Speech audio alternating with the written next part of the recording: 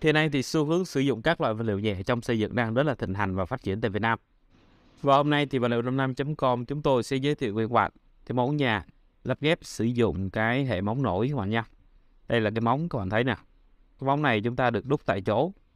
Có chiều cao là khoảng tầm 50 đến 60 cm. Vừa đủ để chúng ta thao tác thi công những cái phần à, cấp thoát nước ở bên dưới và được cấp điện các bạn nha. Đối với mẫu nhà dạng như thế này thì các bạn thấy là chúng ta rất là linh động trong cái việc bố trí sắp xếp những căn nhà lại với nhau. Đó chúng ta có thể ghép module hoặc là từng module riêng biệt với nhau.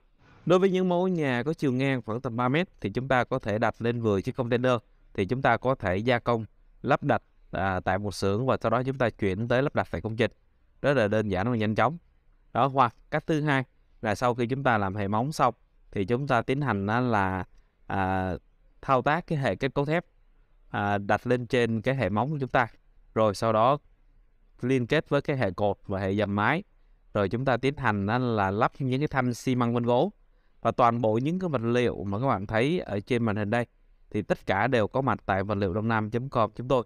Và những bạn nào chúng ta có nhu cầu nghiên cứu, tìm hiểu thêm các loại vật liệu mới dành cho nhà lắp ghép thì nhớ đăng ký kênh vật liệu đông nam.com. Ở video sau, chúng tôi sẽ review cận cảnh cho quý vị xem các loại vật liệu sử dụng của căn nhà lắp ghép này còn nhé.